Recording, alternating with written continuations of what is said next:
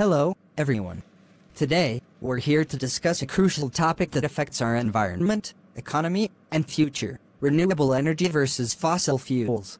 Renewable energy sources like solar, wind, and hydroelectric power offer clean and sustainable options for powering our world. They don't produce harmful emissions, reduce our dependence on finite resources, and create jobs in the growing green sector. Thank you, everyone.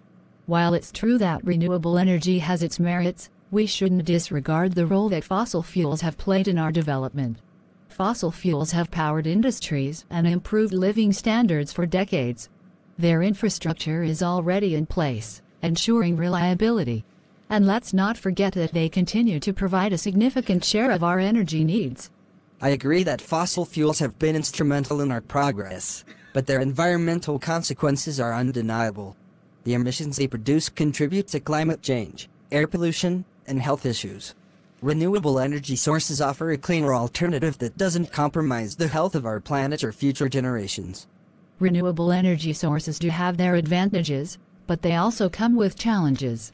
They can be intermittent, dependent on weather conditions, and often require large land areas for installation. Fossil fuels, on the other hand, provide a consistent and reliable source of energy, even in adverse conditions. That's a valid point but technological advancements have greatly improved the efficiency and reliability of renewable sources. Battery storage systems are addressing the intermittency issue, and innovations like floating solar panels and offshore wind farms are expanding their potential without consuming vast amounts of land. True, technological advancements are important. Yet, the transition to renewable energy would require significant investments in new infrastructure, which can be costly and disruptive fossil fuels remain economically viable in the short term, especially in regions where the shifts might lead to job losses.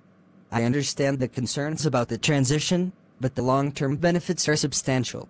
Investing in renewable energy fosters innovation and creates new employment opportunities in a sustainable sector.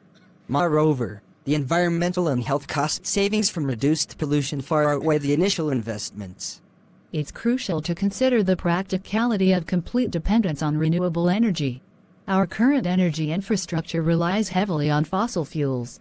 A sudden switch could lead to energy shortages and economic instability.